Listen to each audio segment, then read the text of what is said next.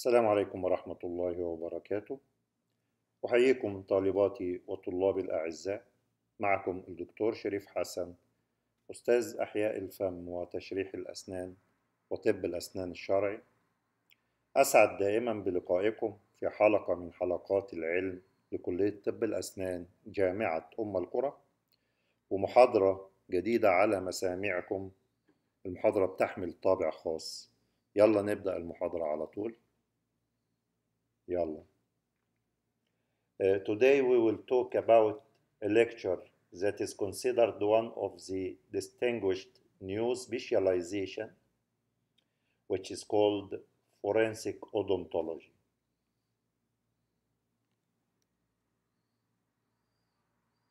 دي بياناتي لو حد عايز يتواصل معايا في أي وقت خلال اليوم 24 ساعة 7 أيام.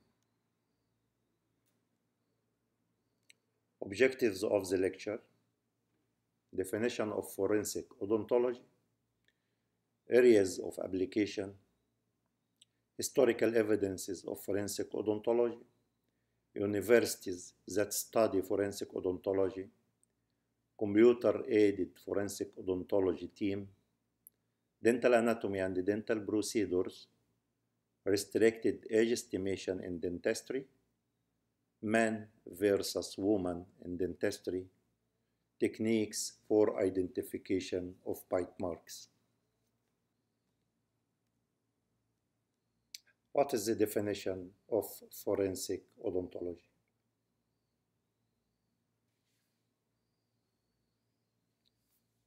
العدالة فوق الجميع.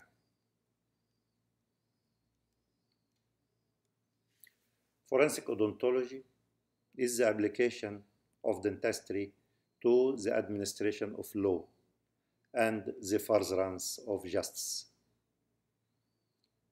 يعني أنا بستخدم كل ما يخص طب الأسنان من معلومات ودلائل وبحطها لخدمة العدالة متى احتاجت العدالة هذا أو بالديفينيشن بطريقة أخرى It is a branch of dentistry deals with handling of dental evidence when needed for justice.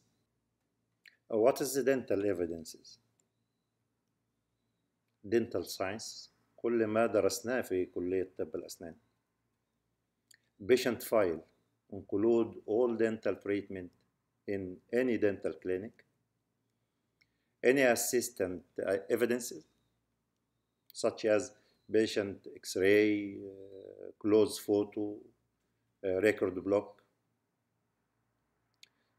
Uh, and so what is important of forensic odontology?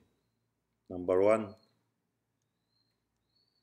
في إظهار العدالة civil affair في الشق المدني أو الجرائم criminal offenses أو dental researches لو إحنا بنعمل ابحاث علميه دي اهم حاجات آه هنقولها بقى بصفه اوسع هنقول what is the main applications of forensic uh, odontology number one identification of human remain even in mass fatalities uh, number two identification of human remain in building fires, age estimation in both living and deceased in limited use until 24 years. Bite mark analysis and identification of the former. To find the origin of bite injuries to both victim and perpetrator. Analysis of oral trauma associated with person abuse, the child disposal, elder.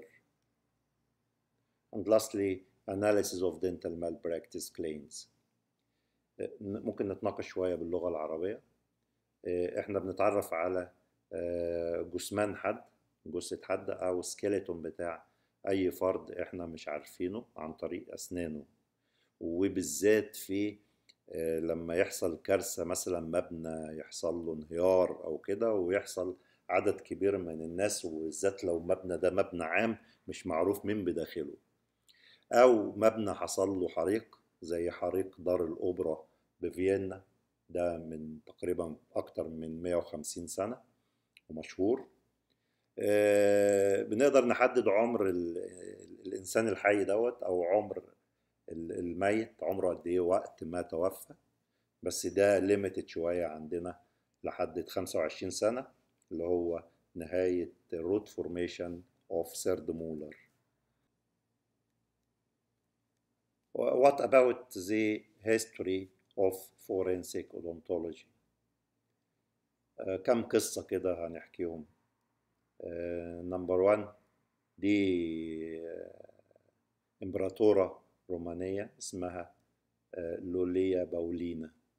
دي زوجة الإمبراطور الروماني كلاديوس سنة 49 بعد الميلاد after delivery حصل حرب في البلد اللي مسكها هذا الإمبراطور وقدر في خلال الحرب إن تتخطف الامبراطوره زوجته. واتقتلت وقطعت رأسها. حد قطع رأسها.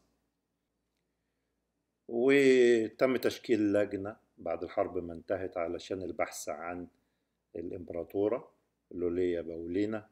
واللجنة بحثت في رفات القتلى الخاصين بهذه الحرب وتوصلت عن طريق إن هي كان عندها diastema في أسنانها إن هي توصلت للجمجمه الخاصة بيها. وقدروا إن هم يتعرفوا عليها وتاكدوا من مقتلها. ودي أول حاجة ذكرها التاريخ اللي هي فيها شبه من التخصص طب الأسنان اللي إحنا فيه دلوقتي اللي هو forensic odontology. طب لو جينا لواحد تاني بقى ده دكتور الدكتور دوت اسمه بأول ريفير سنة 1770 ده دكتور أسنان في أمريكا. ده جاله دكتور زميل ليه بس مش دكتور أسنان حصل إن هو خلع له ضرس والدكتور دوت ابتكر طريقة معينة إن هو يعمل تركيب أسنان من الفضة للدكتور دوت. وتركيبة الأسنان عملها ونجحت وعاشت تقريبا سنتين وتم في مرة كده استدعاء الدكتور بول ريفير إن هو عشان يتعرف على أحد القتلى ودخل عشان يتعرف مع باقي الدكاترة اللي موجودين وبالصدفة اكتشف إن هو شاف نفس ال bridge ال silver اللي هو كان عامله للدكتور وتعرف على الدكتور اللي هو صاحب الجثة عن طريق أسنانه. وده يعتبر أول دكتور أسنان برضو استخدم علم forensic odontology ولكن بالصدفة. وللدرجة إنه وصلت لو حضرتك شايفين الصورة دلوقتي دي دي عملوا له طابع في أمريكا وأعتقد إنه بيباع الطابع ده لحد دلوقتي احتفالا بالتجربة اللي هو عملها ديت. طب نيجي بقى في العلم الحديث هتلاقي الدكتور أوسكار أميدو ده دكتور كوبي وعاش في فرنسا واخد الجنسية الفرنسية. ده مولود 1863 ل 1945 ودكتور اوسكار اميدو considered as the father of forensic odontology in the world.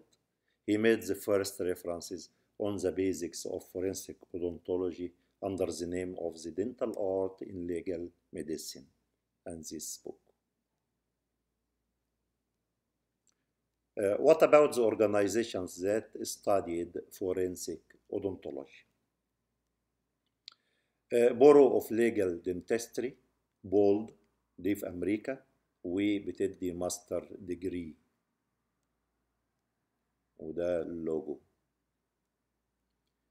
American Board of Forensic Odontology ABFO ده بيدي بورد هيئة تانية بتدي بورد International Organization for Forensic Odontostomatology ال IOFOS في بريتش يونيفرسيتي ان كولومبيا كوليدج of forensic medicine the, the first university that approved to teaching of this course as an accredited baccalaureate degree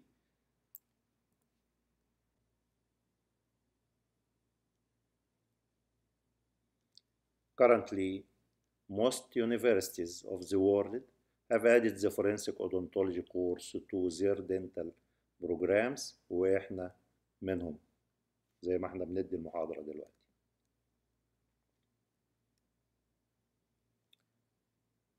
Uh, forensic odontology teams اللي هم بيبقوا شغالين بقى في وزارة العدل uh, بيتكونوا من ثلاث فرق. نمبر 1 post mortem team. Uh, this team performs the file of dental uh, profile and make x-ray to the human remain يعني بيشغل على after death. Uh, this file is termed post-mortem file and that take a pink color. Anti-mortem team collect organized antemortem data through number one dental clinic where the dead person was treated before dental file number two information by relatives of the dead person الناس اللي إحنا شاكين ان اللي إحنا بنتعرف عليه دوت منهم فبناخد منهم informations close pictures of the dead person showing the teeth clearly. Uh, this file is termed antemortem file that take a yellow color. These two files, the pink color file and the yellow color file, transmitted to the comparison team. Comparison team receives the data from both post-mortem and antemortem team into the computer for comparison, conclusion, and make a final report ويقول هو ده بقى فعلا الانسان دوت هو اللي المفقود دوت اللي إحنا بندور عليه ولا حد تاني The first application in forensic odontology is the identification of unknown individual. Number one, what is the types of human remain? إما يكون newly dead person with full body واما يكون skeleton human remain بقاله فتره تايه في الصحراء أو كده وتوصل ان هو تحلل وبقى skeleton A general way for newly dead person with full body number one identification of biological profile DNA ممكن نتعرف عليه عن طريق finger print وممكن نتعرف عليه عن طريق الفاميلي ask the family for identification of this person. By direct way vision. ولو هم مش قادرين يدخلوا يشوفوا على الطبيعة نعمل له صورة ونوريها لهم by photos identification. الطريقة الثانية ال dental way ودي تعتبر طريقة قوية جدا. وال dental way دي بتستخدم في الحالتين بقى. Even in the human remain identification وصل ان هو بقى skull بس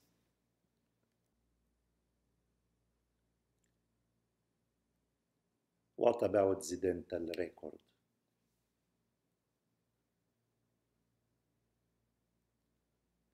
Steps of dental record of craniofacial bone diagnosis أو skull أول حاجة بنعمل physical examination اللي إحنا لو هو living human بنسميها clinical examination. The first step is the teeth. You must record these points. Erupted teeth, number and types, deciduous or permanent. Stage of dentition, deciduous, mixed, or permanent dentition. Missing teeth, number and identify. Teeth attrition, number and identify. Malposed teeth, remaining root, teeth with developmental disturbances. Hutchinson incisor, for example. نشرح الكلام ده كده بالعربي كده بسرعة إحنا بنكتب عدد الأسنان اللي موجودة وكل سنة هي مين سواء ديسيدوس أو بيرمننت وبنكتب ال stage of dentition عشان لو إحنا كتبنا mixed dentition يبقى إحنا اختياراتنا كلها دخلت من ست سنين ل 12 سنة. يبقى إحنا إيه قفلنا الدايرة عشان نقدر نوصل للحقيقة بسرعة. missing teeth بنكتب ال number واني اسنان اللي حصل لها missing سواء حصل لها extraction أو unerupted ودي علشان خاطر بتبقى علامة من العلامات اللي إحنا بنتعرف عليها على الإنسان ده مين هو. teeth attrition دي من علامة من العلامات اللي بنقدر نعرف عمر الإنسان تقريبا لو هو طعن شوية في العمر. malposed teeth و remaining root دي برضو علامة من علامات إزاي نعرف الإنسان دوت. وهكذا ال Hutchinson incisors أو any developmental disturbance affecting the teeth present within the oral cavity you must record all this information separately. Number two,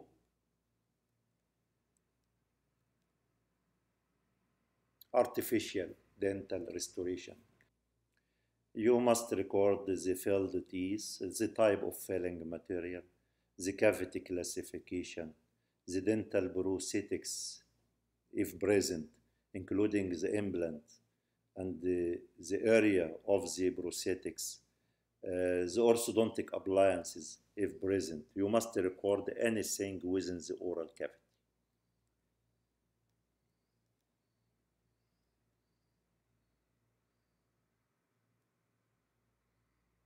The mandible. Uh, you studied the angle of mandible, the level of mental foramen, and this related to the age change of the mandible وتقدر ان انت تتوقع عمر الانسان دوت palatine rugae area act as print ان كل واحد ليه palatine rugae area غير التاني mental protuberance type of condylar process type of coronoid process intercondylar distance and the depth of sigmoid notch these uh, five points can differentiate between male and female under the approval of new scientific researches. Uh, study the alveolar bone أهم من ثلاث نقط level of alveolar crest at the level of cervical line or at the level of uh, junction of uh, cervical and the middle third of the root. any bone swelling present or any bony cavity you must record all these informations. The second way is radiographic examination. And radiographic examination uh, related to number one stages of tooth development. Impacted tooth, root resorption of deciduous teeth, root complete of erupted teeth, hypercementosis, tooth ankylosis, bulb diameter to crown diameter, endodontic treated tooth, and lastly bony lesion radiolucent or radiopaque كل البيانات ديت لازم تسجلها وكل بيان من البيانات دي بتسجلها ليه عندك معلومة هتوصل بيها لهدف معين آه نشوف بقى إحنا هنسجل الأسنان فلازم نستخدم numbering system وإحنا خدنا في سنة تانية في Palmer notation system زي ما حضراتكم شايفين على الشاشة. FDI system اللي هو 2 digit system و universal system اللي هو clockwise system universal system is the most accepted system used for forensic odontology.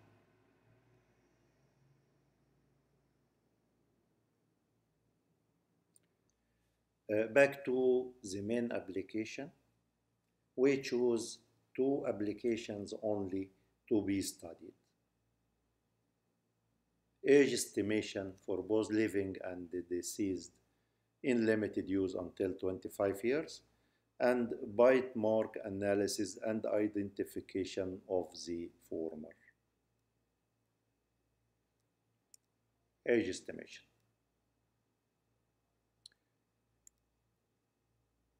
Uses of age estimation. Determination of age of living individuals and the determination of age of deceased human remain. ولكن disadvantage of age estimation using dental uh, speciality number one not give accurate result but give range for example more or less six months number two in disadvantage limited to 25 years only اللي هو complete root formation of wisdom واللي بعد كده هيبقى بالخبرة steps of age determination depend on clinical examination we choose the points of examination discussed before that related to the age زي إيه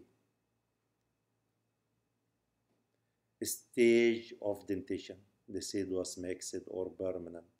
Erupted teeth number and types The deciduous or permanent. Missing teeth number and identify. And also radiographic examination. Uh, tooth development stage root resorption root complete of erupted teeth root complete of impacted teeth hypercementosis age determination chart.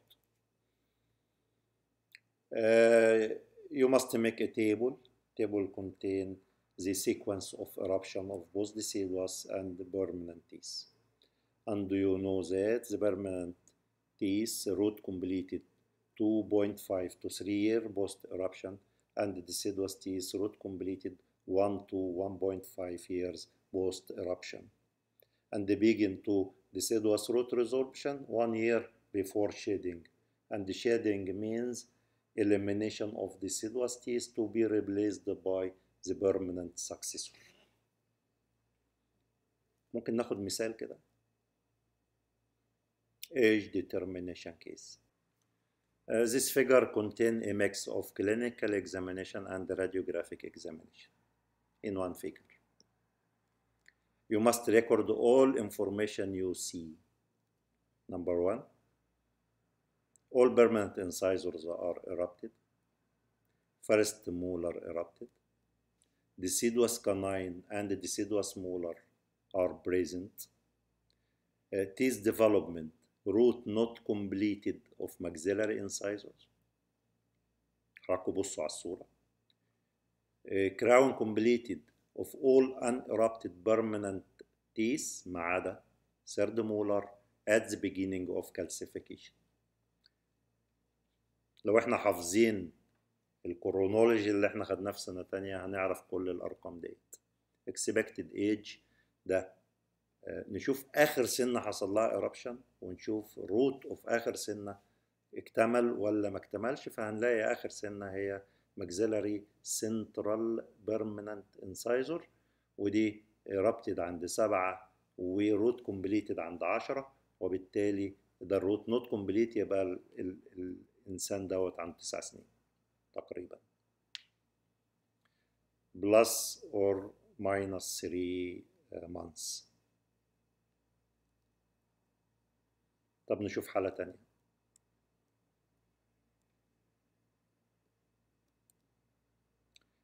في الصورة ديت all the permanent teeth are erupted except third molar. Uh, many roots are not completed. Canine, maxillary canine و maxillary premolars و second uh, permanent molars not completed roots and the crown of uh, third molar seem to be completed. يبقى ده عنده كام سنة؟ eruption of second uh, permanent molar عند 12 سنة واكتمل جزء من الروت. يعني ممكن نلاقيه تقريبا عنده 12 12 ونص.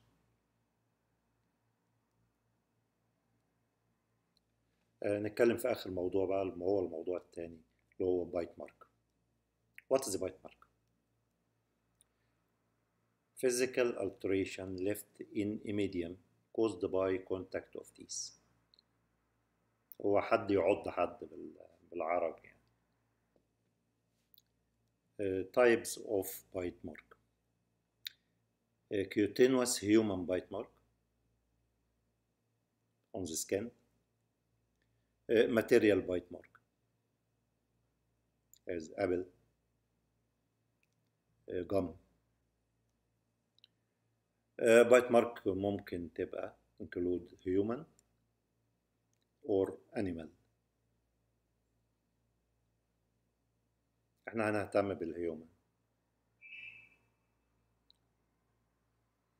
لو إحنا شايفين الصورة ديت هتلاقي دي the same bite mark but with degree of occlusal force يعني موجودة هنا آه، occlusal force بسيط هنا زاد شوية هنا زاد أكتر هنا زاد أكتر وهنا بقى إيه جاب آخر القوة بتاعته The method of uh, identificate the former of this bite mark is termed acetate overlay. Definition Acetate overlay is a technique used to analyze the bite mark. Materials used live wound وبعد كده نصورها كمان. Study cast of the actor اللي إحنا شاكين فيهم نعمل لكل واحد منهم ناخد له impression ونصبه stone. transparent sheet. This blue color sheet. Live wax bite. Before actor. اللي إحنا شاكين ان هو عامل كده بنعمل له wax bite.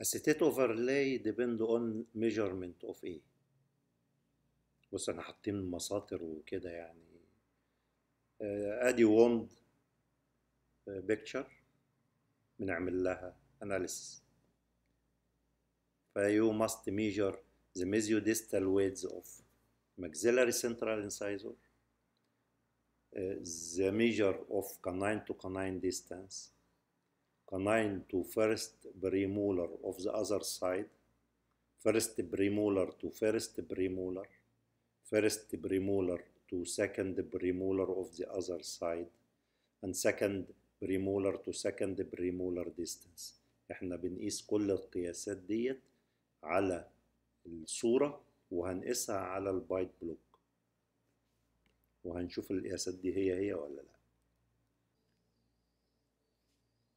methods of bite mark analysis uh, depend on the comparison between the wound and the actor. Uh, there are over 20 different methods of bite mark analysis. The most common used are number one, comparing a study model of accused to live wound of victim.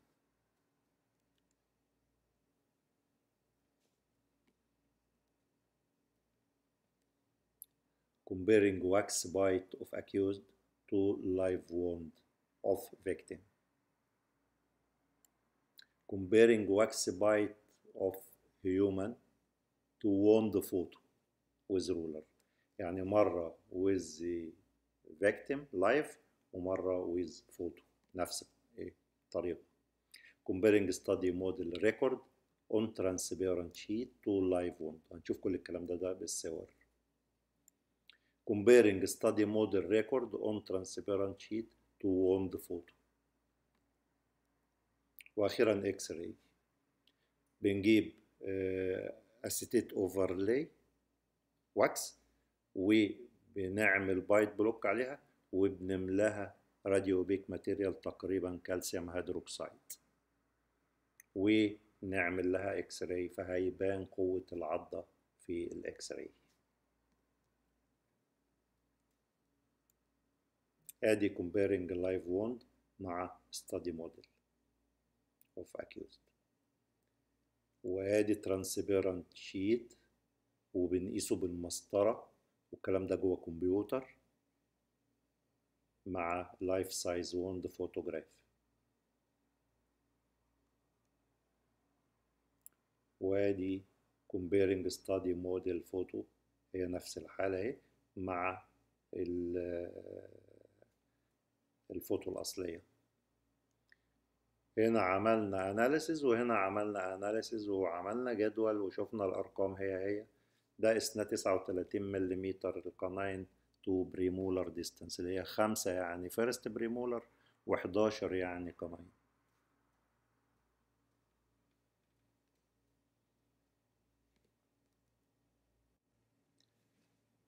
Disadvantages of bite mark analysis.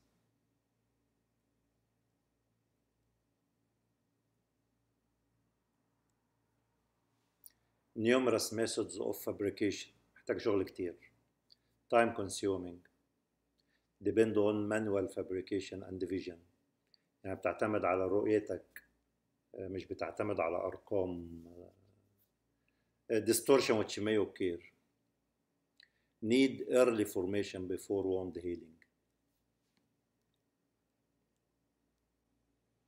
آخر حاجة هنتكلم على food bite mark واحد حرامي داخل يسرق شقة لقى على ترابيزة السفرة طبق فيه تفاح علشان خاطر يهيئ نفسه للسرقة بيروح ماسك التفاحة ويروح واكل منها قطمة ويروح راميها. يرجعها في الطبق يحطها على الترابيزة يسيبها تقع على الأرض وإحنا ناخد التفاحة ديت ونقبض عليها عن طريق التفاحة عن طريق إن إحنا عرفنا أسنانه اللي قطعت التفاحة ديت. وبنجيب المشتبه فيهم ونقول لكل واحد خد كل قطمة من تفاحة ونشوف التشابه وصل مع مين من المشتبه فيهم مع التفاحة الأم. خلصت المحاضرة بسرعة وأنا سعيد بلقائي معكم وأشكركم والسلام عليكم ورحمة الله وبركاته.